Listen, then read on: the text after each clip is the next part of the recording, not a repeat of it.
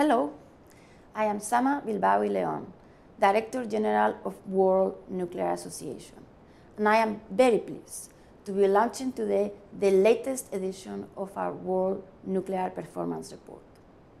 Building on data collected by the International Atomic Energy Agency, our report analyzes the performance of the world nuclear reactors in 2021, also the achievements in new reactor construction, all of it to provide the definitive assessment on nuclear contribution to energy supply worldwide. In 2021, the world's nuclear reactors bounced back from the economic downturn resulting from the COVID-19 global pandemic and generated 100 terawatts hour more electricity than in 2020.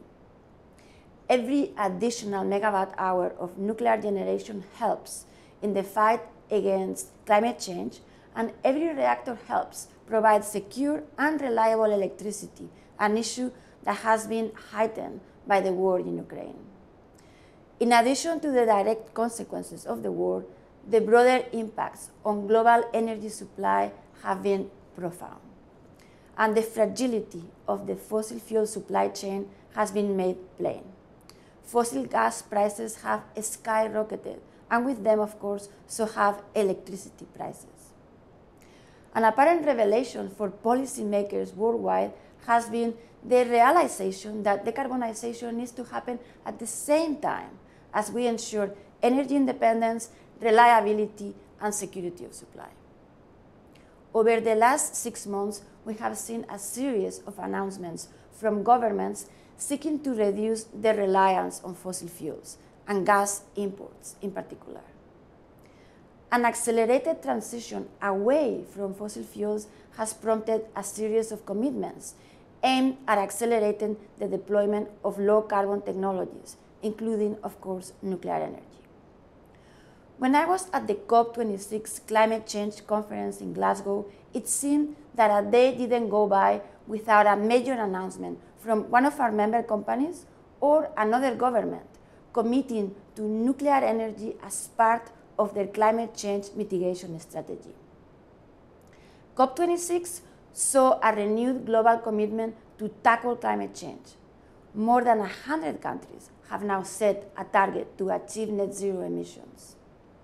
But at the same time, those governments face the difficult task of ensuring continued energy supplies in the complex geopolitical here and now. The harsh reality is that despite this enhanced commitment to nuclear and other low carbon technologies, the growth in energy demand seen as the global economy began to recover after the end of the COVID 19 pandemic has primarily been met through an increase in the use of fossil fuels. Coal power plants on the verge of closure are being brought back online to shore up electricity supplies. And long term plans for a more secure, low carbon future are having to wait in line be behind short term shifts to any energy form available, clean or dirty. Faced with the current energy crisis and the long term threat of climate change, there is an even more urgent need to maximize the huge contribution to decarbonization and energy security of nuclear reactors that are currently operating worldwide. Many of the closures of nuclear reactors over the last five years have resulted not from technical requirements, but from political decisions or economic pressures. Clearly, at a time when every kilowatt hour of clean, secure energy is precious, and extending the operating lives of existing nuclear plants should be incentivized, misguided political dogma is making things worse. Germany's three remaining reactors perform very well, with high capacity factors frequently in excess of 90%, and together avoid the emissions of 25 million tons of carbon dioxide every year. Being barely more than 30 years old, these reactors could supply clean and reliable electricity well into the second half of the century, but instead they will be permanently shut down at the end of 2022. In contrast, the Belgian government has approved the extended operation of two reactors, Doel 4 and Tihange 3. It is vital that governments, regulators, and industry all take steps to ensure that action is taken to proceed with long-term operation wherever it is feasible to do so. Our existing nuclear fleet can continue to make a massive contribution to energy security and climate change mitigation. But establishing the net zero economy that will be needed to avoid the worst impacts of global climate change, and so many governments have set targets to achieve, will require a total transformation of our energy system, including a far greater contribution of nuclear energy. Nuclear energy will play a major role in making possible a net zero world of abundant energy for everyone. It will generate electricity for both large and small grids, provide district heating and cooling, supply process heat to industry, produce hydrogen, and so many, many more things. As the only energy source that can produce low carbon electricity and low carbon heat, it can be a game changer for the deep decarbonization of the entire global economy.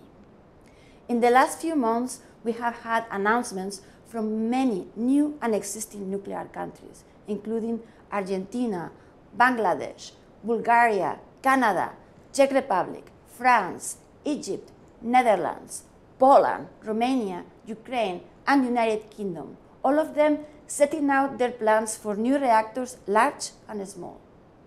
It is essential that these plans are delivered on in full and expanded upon, so the pace and scale of new nuclear construction accelerates worldwide. We need to lay down human, physical, commercial, and institutional infrastructures that will allow the global nuclear sector to truly scale up fast to meet the urgent and massive decarbonization needs. Only if this is achieved will everyone have equitable access to the secure and reliable energy and electricity supplies they need to live well and be able to preserve an environment fit to live in.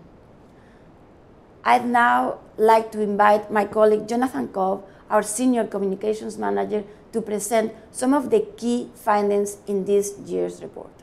Jonathan. Thank you, Sama. In 2021, nuclear reactors generated a total of 2,653 terawatt hours of electricity, up 100 terawatt hours on the 2020 total. That's around a 4% year on year increase.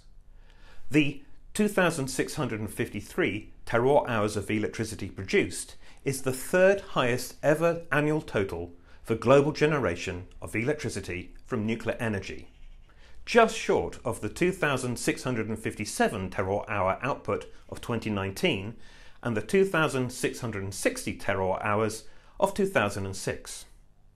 The 4% increase over 2020 also resumes the upward trend in nuclear generation seen since 2012, following a decline in 2020, largely due to the suppressed demand for electricity during the global COVID 19 pandemic.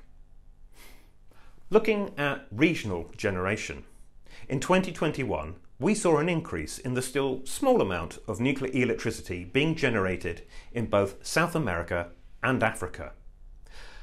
Looking to regions with higher levels of generation, output rose in Asia and in East Europe and Russia. These increases continue the upward trends that have been seen in those regions in recent years. Generation also increased in 2021 in West and Central Europe as electricity demand rebounded from the impacts of the COVID pandemic. But in this region, the overall trend remained downwards. Generation declined for the second year running in North America as more reactors in the USA were closed. At the end of 2021, the total capacity of operable nuclear power plants worldwide was 396 gigawatts, down 1 gigawatt on 2020.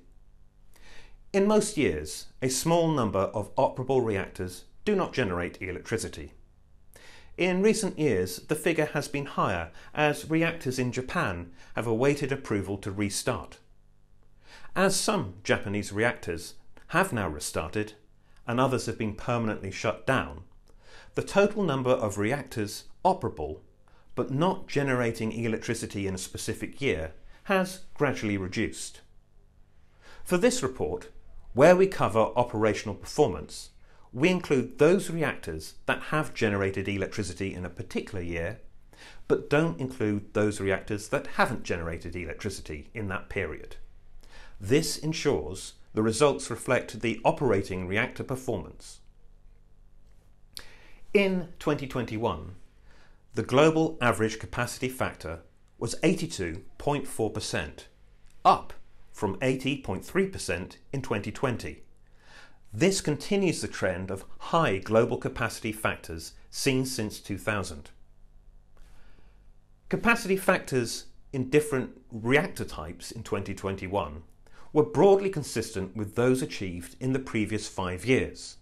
The UK's AGRs currently represent the entirety of the gas cooled reactor category, and all are expected to have shut down by the end of the 2020s.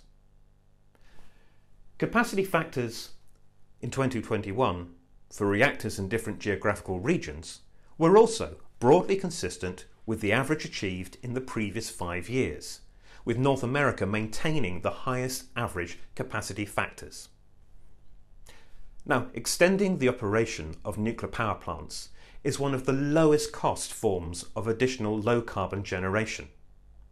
Operating the existing fleet of nuclear reactors for longer could make a major contribution to reducing greenhouse gas emissions in the short term, thereby tackling climate change. Therefore, it is vital to understand how reactors perform as they get older. The next chart shows that there is no age-related decline in nuclear reactor performance. The mean capacity factor for reactors over the last five years of different ages shows no overall variation with age. Improvements in average global capacity factors have been achieved in reactors of all ages, not just newer reactors of more advanced designs. Demonstrating high capacity factors for reactors of all ages strengthens the case for extending the operations of the current nuclear fleet. There has been a steady improvement in reactor performance over the last 50 years. Here we can see the average capacity factors in each decade since the 1970s, as well as for 2020 and for 2021. In the 1970s, around 22% of reactors had a capacity factor greater than 80%. By 2021, that had more than tripled to around 68% of reactors achieving that goal. Looking now to new construction starts. Alongside eight new large PWRs, in 2021 construction began on a lead cooled fast reactor at Seversk near Tomsk in Russia, and a small modular reactor at Changjiang in the province of Hainan in China. The SMR at Changjiang is one of the construction projects that is featured in the performance report case studies this year. Six reactors were connected to the grid for the first time in 2021. Shandong Shidaowan is a notable new start as it consists of two 250 megawatt thermal high temperature reactor pebble bed modules connected to a single 200 megawatt electric steam turbine. You can also find out more about the HTRPM as we feature it in another one of the case studies in our performance report. The shortest construction times were achieved with the construction of PWRs in China and the Chinese designed HPR 1000 reactor in Karachi, Pakistan. This continues recent trends where series build and the retention of skills through ongoing new build programs have helped contribute to more rapid construction times. Now, our final figure shows the total capacity of reactor of different ages operating in any one year since 1970 broken up by decade. The total capacity of reactors that have been in operation for less than 10 years declined from around 1990 as the pace of new reactor startups slowed.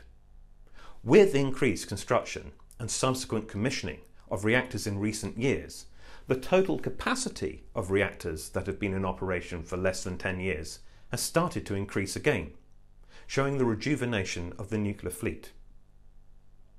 All these results and more are presented in our World Nuclear Performance Report, which is available now. In addition to the summaries presented today, the report contains country by country updates presenting key data and detailing recent developments. The report also contains two more case studies one describing progress on construction of two EPRs at Hinkley Point C in the southwest of England, and another detailing the transition from construction to operation at the Barakah plant in the United Arab Emirates.